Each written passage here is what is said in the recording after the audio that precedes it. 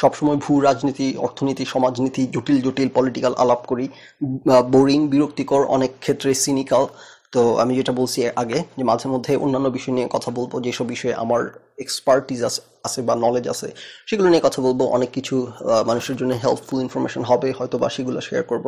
আবার অনেক ক্ষেত্রে জাস্ট লাইট ওয়েট কিছু সাবজেক্টে কথা বলব। জাস্ট এটা আমারও ইয়ের জন্য চেঞ্জের জন্য আপনাদেরও চেঞ্জের জন্য ফ্লেভারে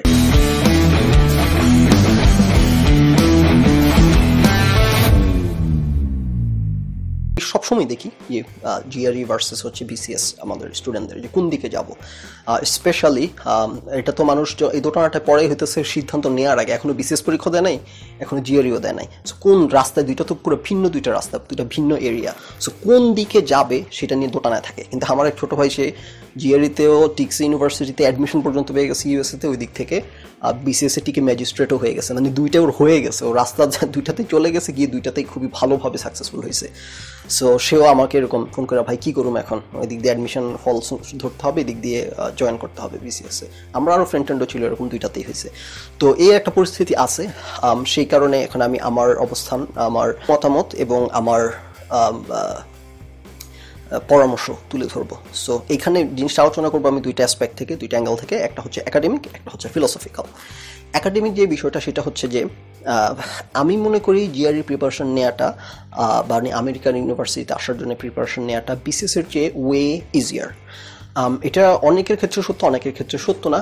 কারণ হচ্ছে অনেকের জন্য এই ইংরেজি প্রিপারেশন নেওয়াটা কঠিন তাদের জন্য বিসিএস সহজ। যেমন আমার এক ফ্রেন্ড সে হইতেছে, সে ইংরেজি তার পেট বোমা মারলে ইংলিশ বের হয় না। সো সে সে বিসিএস দিয়ে, সেও ম্যাজিস্ট্রেট হয়েছে রাইট হ্যাঁ সেও সে বিসিএস দিয়ে ম্যাজিস্ট্রেট হইতে পারছে, কিন্তু জিআরই সে দিয়ে কিন্তু আসতে পারে না জিআরই দিয়ে স্কোর মিডিয়া কোর্স করে হয়েছে টোফেল দুইবার দিয়েও সুবিধা করতে পারে না আসতে পারে না সো তার জন্য বিসিএসটা জিআরই যে যে হইতেছে সহজ।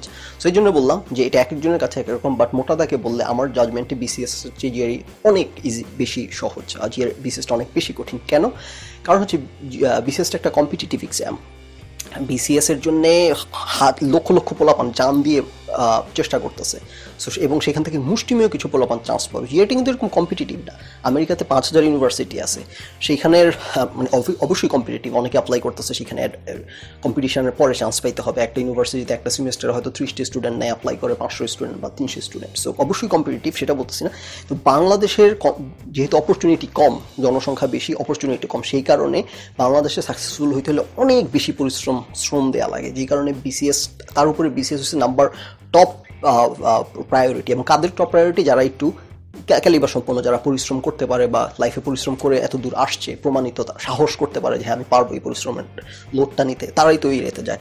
সো ওইখানে এমন লোকদের মধ্যে কম্পিটিশন হয় সবাই হইতেছে অনেক কোয়ালিফাইড সো এটা খুবই একটা টাফ এরিয়া আমি এমন না যে আমি বিসিএস দিলে আমি ভালো করব না, এই, আমার এই ভয় আছে, জুজু আছে ওই এরিয়া থেকে বলছি তা না, আমি মনে করি আমি বিসিএস এর পেছনে সময় দিলেও ইনশাল্লাহ সাকসেসফুল হইতাম, হব। আমি ভয়ের জায়গা থেকে বলতেছি না, আমি বাস্তবতা, আমি যেটা বুঝি সেটা বললাম আর কি। সেই তুলনায় জিআরই অনেক লেস কম্পিটিটিভ আচ্ছা এখন আরেকটা ব্যাপার হচ্ছে যে বিসিএসসি কিন্তু হচ্ছে আপনার মানে জিআরইতে কিন্তু আপনার কামব্যাক করার সুযোগ আছে। যেমন আপনার যদি জিপিএ খারাপ করে ফেলেন তাহলে কিন্তু আপনার আরও অনেকগুলো এরিয়া আছে এটাকে মেক আপ করার জন্য আপনি জিপিএ খারাপ হলে আপনি জিএর স্কোরটা ভালো করলেন। টোফেল স্কোরটা ভালো করলেন জিপিএটাকে মেক আপ করে ফেলো জিআর টোফেল স্কোর যদি একটু মিডিয়াকার হয় জিপিএটা যদি খুব ভালো হয় পাবলিকেশন থাকে, তাহলে আর একটু সুযোগ তৈরি হইল।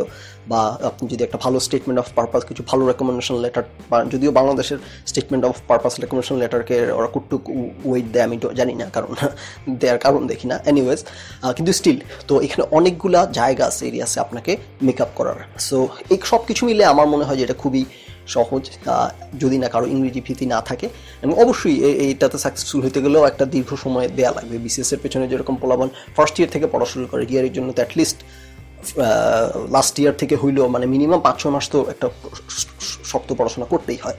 সো এই দুইটার মধ্যে একাডেমিক্যালি যদি আমি বলি জিআরইটার চেয়ে বিসিএসটা হইতেছে অনেক ইজিয়ার আমি মনে করি, আমি কিন্তু বারবার অনেক অ্যাডভার্টটা ইউজ করতেছি কারণ আমি আসলেই মনে করি এটা সিগনিফিকেন্টলি ইজিয়ার সো এটা আর, এবং লাস্ট আমি শুরুতে যেটা বললাম, সেটা আরেকবার বলে নি এক একজনের কাছে এক এক রকম যেটা বললাম।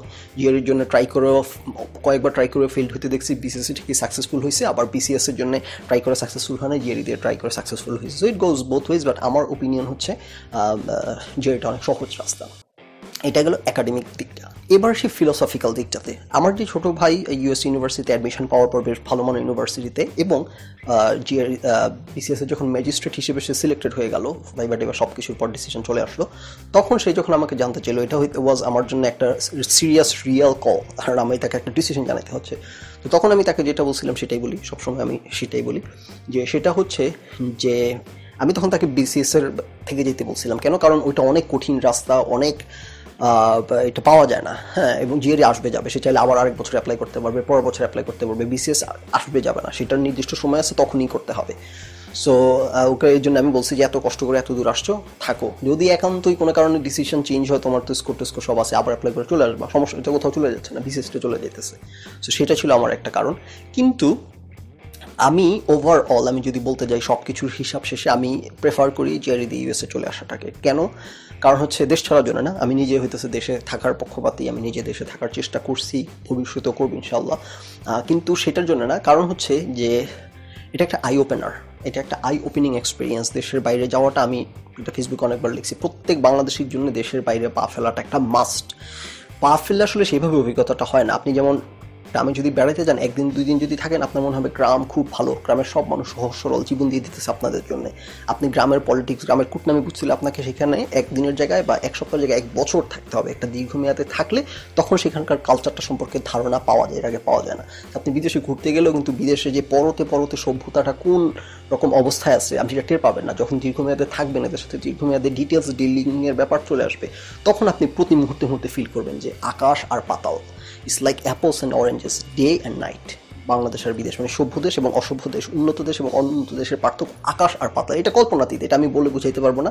এটা সে এক্সপিরিয়েন্স করে ফিল করে বুঝতে হবে, দীর্ঘমেয়াদে থেকে একদিন দুদিন থেকেও ফিল করা সম্ভব না, বোঝা সম্ভব না।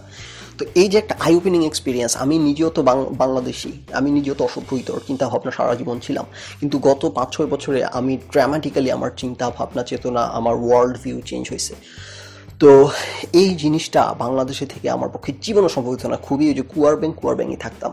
আমি মনে করি, আমি কিন্তু এই দেশে মানে বাইরে আসাটাকে শুধুমাত্র ক্যারিয়ার ক্যারিয়ারকে দিক থেকে সাকসেসফুল হওয়ার একটা সুযোগ হিসেবে দেখি আমি দেখি এটা এখানে একটা ভিন্ন ভাষা শেখার সুযোগ, ইংরেজি ভাষাটা শেখার সুযোগ, কারণ এটা আপনি বাংলাদেশেও থাকলে কাজে লাগবে, দেশের বাইরে গেলেও কাজে লাগবে, আপনি বিদেশে থেকে কিছুদিন যদি দেশে ব্যাক করেন, তাহলে কিন্তু আপনি জিনিসটা শিখে আসলেন, চর্চা করে আসলেন। এটা আপনার সারা জীবনের জন্য উপকার হবে, কাজে আসবে।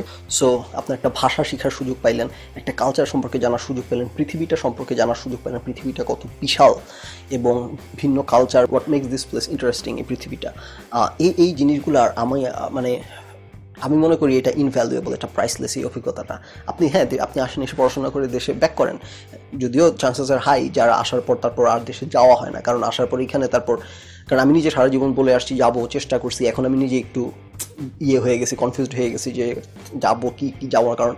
আর নেওয়া যায় না ওইগুলা বাংলাদেশের গরম, বাংলাদেশের মশার কামড় আমার সমস্যা নাই। কিন্তু বাংলাদেশের মানুষের যে অসভ্যতা, কোনো বাক স্বাধীনতা নাই, কথা বলার অধিকার নাই বৃত্তির মতো ট্রিট করে, অযোগ্যরা আপনার উপর উৎপাত করে এইগুলো একটা সময়ের পর না আর নেওয়া যায় না। তো এনিওয়েজ আর স্টুডেন্ট লাইফে এগুলো বোঝা সম্ভব নেই স্টুডেন্ট লাইফে তো বাপের হোটেলে খাই, যে কারণে আমরা টের পাই না যে এই এই মানে স্টুডেন্ট লাইফটা পার করার পর ওয়ার্ক প্লেসে ঢুকলে প্রফেশনাল লাইফে ঢুকলেই জীবনটা ওলট পালট হয়ে যায়। যে কারণে আর সহ্য হয় না আর কি বাংলাদেশে এই এই বিষয়গুলো।